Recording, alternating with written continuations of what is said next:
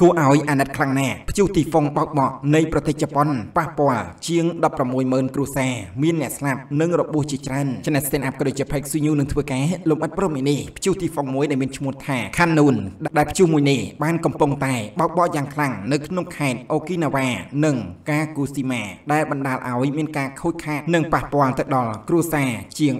166,000គ្រួសារហើយជាពិសេសទៅទៀតនោះគឺបានធ្វើឲ្យមនុស្សស្លាប់អស់ពីនាក់ និងមានរបួសរហូតទៅដល់41នាក់ឯណោះនៅក្នុងករណីខ្យល់ព្យុះដែលបានបោកបក់នៅក្នុងខេត្តពីនេះហើយបើយោងទៅតាមទីភ្នាក់ងារឧតុនិយមជប៉ុនក៏បានឲ្យដឹងថាព្យុះមួយនេះបាននឹងកំពុងតែធ្វើដំណើរទៅទិសពាយ័ព្យនៅក្នុងល្បឿនយឺតជាមួយនឹងខ្យល់ខ្លាំង222គីឡូម៉ែត្រនៅក្នុង1ម៉ោងពោលទៅកាន់ប្រទេសចិននឹងត្រូវបានគេដឹងថាវាអាចនឹងត្រឡប់មកប្រទេសជប៉ុនវិញនៅក្នុងសប្តាហ៍នេះផងដែរជាមួយគ្នានេះផងដែរក៏យើងឃើញថាទីភ្នាក់ងារគ្រប់គ្រងគ្រោះមហន្តរាយនិងអគ្គិភ័យបានធ្វើការលើកឡើងថាមនុស្សសរុបចំនួន41នាក់នៅក្នុងខេត្តអូគីណាវ៉ានិងកាកូស៊ីម៉ាបានរងរបួសនិង2នាក់បានបាត់បង់ជីវិតហើយលើពីនេះទៅទៀតនោះខ្យល់ទីហ្វុងកានូនក៏បានបង្ខំឲ្យសាលារៀននិងអាជីវកម្មត្រូវបានបិទចំណែកឯជើងហោះហើរជាង40ក៏ត្រូវបានបិទជាបណ្ដោះអាសន្ននៅក្នុងពេលនេះផងដែរជាការពិតណាស់យើងឃើញថានៅពេលបច្ចុប្បន្ននេះបណ្ដាលប្រទេសមួយចំនួនគឺរងផលប៉ះពាល់ទៅដោយព្យុះបាទនិងភ្លៀង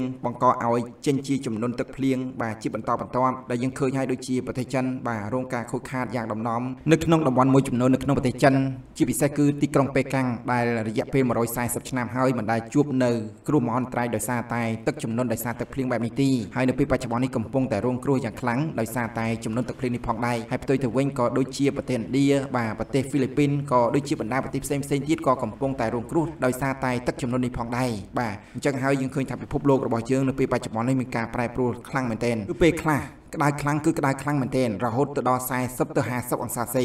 នៅពេលដែលចុះត្រជាក់វិញគឺត្រជាក់ខ្លាំងហើយនៅពេលដែលគ្រោះធម្មជាតិបានបង្កឡើងគឺអាចឲ្យមានទឹកជំនន់ជន់លិចធ្វើឲ្យខូចខាតទៅដល់ផ្ទះរបស់ប្រជាពលរដ្ឋដែលរស់នៅក្នុងតំបន់ទាំងនោះ មិនថាប្រទេសណាប្រទេសណានោះទេនៅពេលបច្ចុប្បន្ននេះអ្វីដែលយើងអាណិតនិងអាសូរជាទីបំផុតនោះគឺជនរងគ្រោះគឺបងប្អូនប្រជាពលរដ្ឋនៅតាមប្រទេសនីមួយៗដែលរងគ្រោះដោយសារតែទឹកជំនន់ទឹកភ្លៀងនេះបញ្ជាក់ព័ត៌មានដែលយើងខ្ញុំបានលើកឡើងនេះក៏សូមបញ្ចប់ហើយក៏សូមអរគុណចំពោះការចំណាយពេលវេលាដ៏មានតម្លៃរបស់ប្រិយមិត្តទាំងអស់គ្នាមកទស្សនានៅលើ Channel Stand Up ក៏ដូចជា Page Suyu របស់យើងខ្ញុំតាំងពីដើមរហូតដល់ចប់ផងដែរបាទសូមអរគុណសូមជម្រាបលា